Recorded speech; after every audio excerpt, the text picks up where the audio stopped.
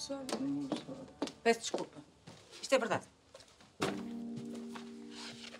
E tu também foste apanhado na fotografia? Eu? Ah, sim.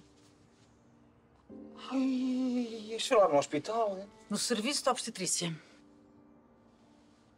Bom, se calhar é melhor eu passar, sair, que é para vocês ficarem à vontade. Paulo, fica, se faz É verdade, filha. Porquê que não me contaste? Porque eu ia para Londres, eu ia esquecer isto tudo. Eu só queria paz, mãe, mas como sempre correu mal, pronto. Cambada de abutres, pá.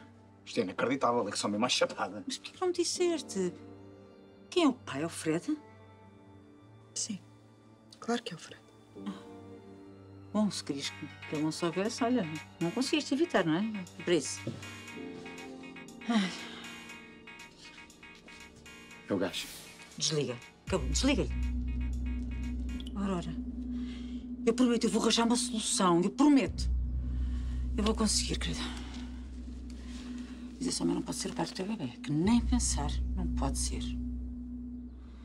O Fred, não.